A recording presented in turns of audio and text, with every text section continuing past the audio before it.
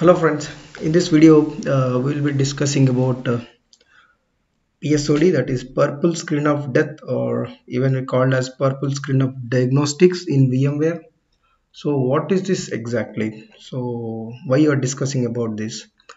So it is nothing but uh, whenever a ESXi box crashes due to some maybe a hardware issue or due to an uh, software issue or due to drivers issue. So you will be seeing uh, a screen a blue screen uh, sorry a pink screen on your ESXi box console. So this is called purple screen of death. So it is nothing but uh, it is giving some information about the crash. Why the ESXi box got crashed and uh, uh, what is the re uh, behind reason behind that? And it will be providing some information about the uh, information with the details. So PSOD is nothing but uh, uh, it's something like BSOD blue screen of death in Windows servers. So we call BSOD blue screen of death in Windows. Same same like uh, it we will be calling as purple screen of death or purple screen of diagnostics in VMware. So where we, we will see it and uh, what are the possibilities of having PSOD why they are occurred and uh, how can we prevent this uh, PSOD all we'll be discussing in this video. And uh, uh, by the way like uh, I will show you a demonstration of PSOD generating a PSOD in my lab at the end of this session. But uh, like uh, yeah this is like this is my blog where I written about I written article about PSOD in 2013 uh, sorry 2018 October 13th so I will just walk through you through this article and uh, even I will I will put this one in the in the description of this video. So I will just um, like just walk you through this. So generally what is this PSOD uh, is nothing but whenever a kernel de determines that uh, the uh, ESX is uh, uh, like operating system is uh, is not safe to continue in that scenario it will like it will create this PSOD so to like it, it's like whenever a, a, when it's in if you, you will be seeing like ESXi box is uh, not responding and when you are trying to ping the ESXi box you will be getting a uh, request timeout so obviously you need to connect to your Dell DRAC or HP ILO or Cisco CIMC of your ESXi server like uh, uh, as ESXi box is an physical box so we definitely we need to connect to DRAC or HP uh, ILO and we need to see the uh, ESXi console where we'll be seeing this screen. So the PSOD screen shows the memory state at the time of the crash and uh, shows details for troubleshooting the cause of the crash.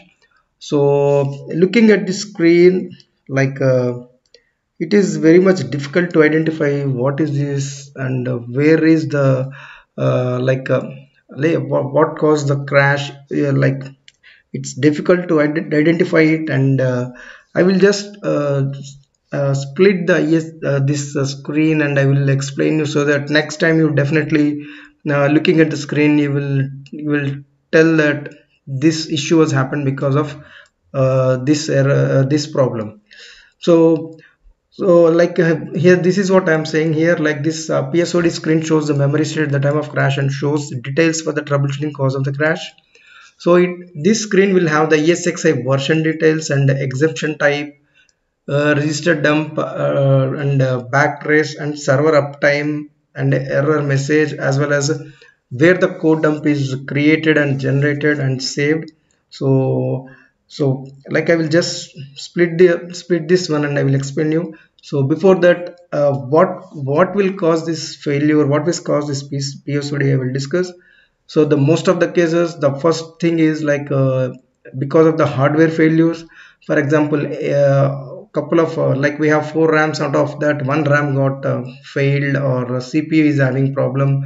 So it will put it will throw normally it will throw an error called MCE so machine check exception or NMI non-mask maskable interrupt errors.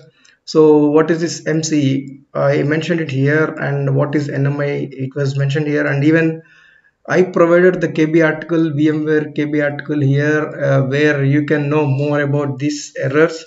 So if you are able to see MCE or NMI in that uh, in the PSOD it means that it's related to memory or CPU and uh, the second uh, like second reason for failure is like uh, software bugs. So software bugs is nothing but uh, ESXi version is having some problem or it's having a bug in the in the version or the PSOD is generated. So at that time um, immediately VMware will release a next patch or next version of uh, uh, uh, next version or even they will release the patches for the bugs.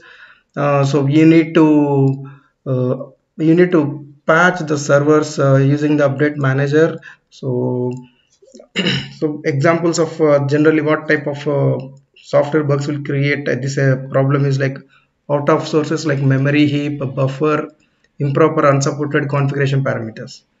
So the third level of uh, the third type of uh, issues occurred is like uh, because of the issue occurred is like driver misbehaving so drivers are like uh, vendor drivers hardware vendor drivers so some of the times the driver incompatibility or even the driver is having any bug so in that scenario you, you may see the psod so at that time what you need to do is you need to download the latest drivers and update it so that you can fix PSODs. So even I mentioned the KB article for this, uh, you can go through that. So here it says like the impact of the virtual environment is when the PSOD occurs on ESXi server, the host crashes and terminates all the services running on it and all virtual machines running on host will, will not gracefully shut down. If the host is part of HA or virtual machines will be migrated to another host.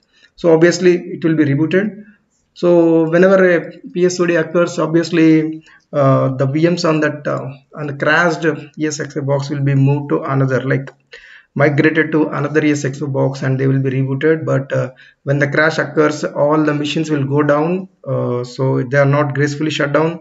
Sometimes that would cause a problems, but uh, uh, even sometimes the, the HA, sometimes if HA doesn't work, the machines won't be migrated to other other ESXi box and in that time you need to uh, reboot the ESXi server and make the machines up and move it to another ESXi box and uh, you need to keep the machine in uh, maintenance mode till the issue got resolved. So uh, like uh, what has to be done when you see PSOD so when you see this pink screen what is that? Like uh, simply uh, you need to do like you need to understand the uh, issue and you need to analyze the issue. So the, the screen like the psod here is like this. So i i splitted the line by line and then explained it below. So i will just make you walk through to that.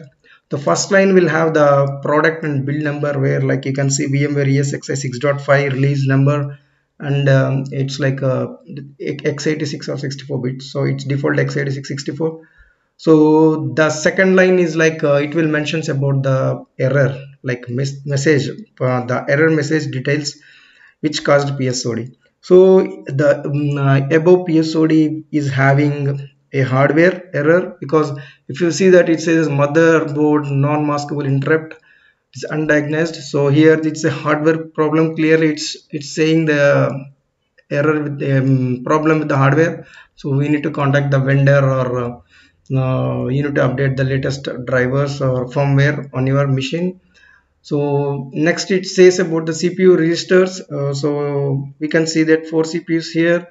And uh, what are the physical cpu details here? Uh, so these are all like if you see this they're all mentioned one by one. So this is line 1 line 2 line 3 and we are discussing about line 4 and 5 so after that this is the uptime.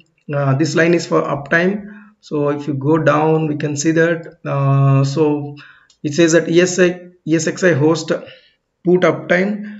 So it, it, it, it talks about the uptime. So and the next is that the stack trace details. Uh, it is out of our scope to understand this thing but uh, uh, you can submit this to VMware and uh, they can tell you what exactly uh, the problem is or um, it, it's nothing but giving the stack details. That's it so the last but not the least is the code dump uh, details. When whenever uh, it crashes it will try to create a code dump after the reboot.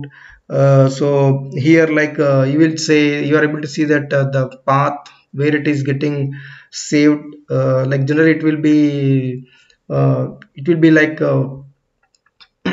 scratch partition. So yeah like get the code dump. When the server boots up we should collect the code dump. So the code dump is like a zip file vmk kernel hyphen z dump it, uh, which contains the logs uh, and they are used for troubleshooting purpose. Uh, so depending on your configuration you may have the code dump in one or one of these forms. Like it will be on a scratch partition and uh, as a dot dump file on host data data stores and even on vcenter with dot dump file. So through the net dump services okay. Uh, so the the code dump becomes uh, especially important in the configuration of host is to automatically reset your or reset after a psod in which case in which uh, case you will get to see the message on screen. So generally whatever i am saying is like uh, uh, like the code dump file will uh, we can collect the code dump file connecting the esxi box using a winscp winscp and uh, once you do collect it you can open it with a notepad and uh, you can see the logs open the logs and you can analyze it. So uh, this is about the psod but what is that we can do to prevent this psod so the first thing is like uh, most of the softwares related to psod are fixed after patching. So make sure all relevant patches for vcenter and esxi are applied up to date. And uh, always suggest to apply on test environment before applying to production. It's ob obviously we need to do that. So without testing if you apply to production and uh, you, that still the patch is having problem then obviously production uh, will go down so second thing is like uh, updating drivers and firmware on your hardware server hardware. So keep always uh, all drivers and firmware up to date.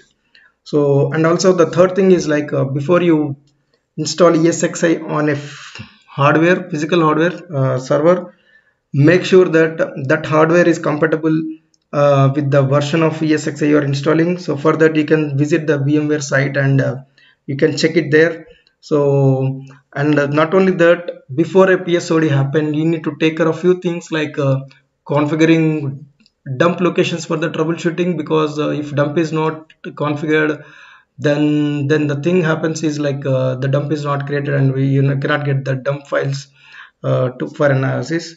And also make sure to configure properly ILO DRAC or IM of the hardware so that when a crash is happened uh, it, the scenario should not be like you are unable to connect to that because of the misconfiguration of ILO or DRAC.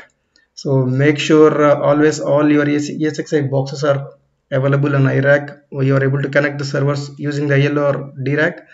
So the last one is like uh, uh, make sure to configure ESXi box to restart after PSOD. Sometimes what happens is uh, though the PSOD happens uh, it will stuck up there itself so and uh, the machines on the ESXi box. Sometimes una may they are not uh, migrated to another server and they stuck up on the same server. In that scenario they will be down till you make the up server up. So if you set it to restart after psod uh, the machines will be up or they will be moved to other machine uh, when the ESXi is up. So this is what like and uh, after psod what can we do to fix?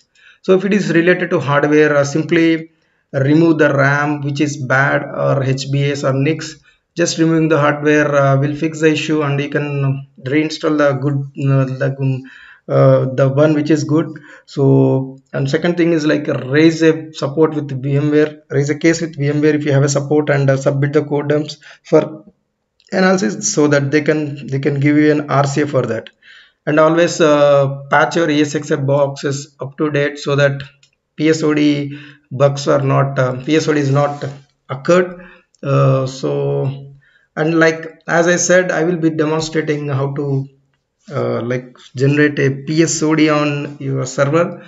But this is not recommended on production servers.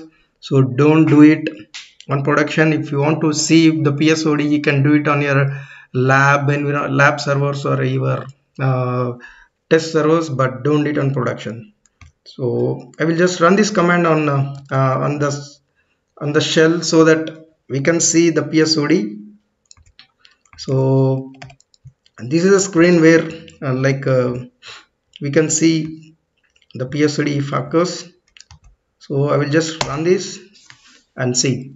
So here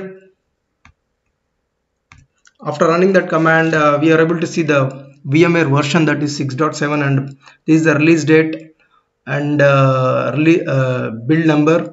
And um, the second line is like I told in that previous PSOD we are able to see that uh, it's related to motherboard that is hardware. But here uh, it says that crash me crash me is the command. Uh, so it clearly says that it is something we done it artificially. So which we uh, we forcibly created this. And the third line is for uh, CPU uh, CPU details fourth and fifth also for CPU details and uh, fifth line is is the uptime details. So this server was started 38 minutes back. So and the, the we are discussing the stack details over here. And last is the code dump to disk where like uh, it mentioned that uh, uh, like path device path and it is created once you press escape so we will be going to the uh, vmk dbg path uh, prompt. So you can see lot of uh, lot of list of uh, uh, like commands. So we are uh, not going into this but obviously we'll reboot the ESXi box and we'll close this video. So I will just restart it as it's a it's not a production. So so yeah that's all for this video and uh, you can just go through this blog if you want to if you want to go through it. I will just put that in this my in my video also. So yeah thanks for watching and i believe this is informative for you. Bye bye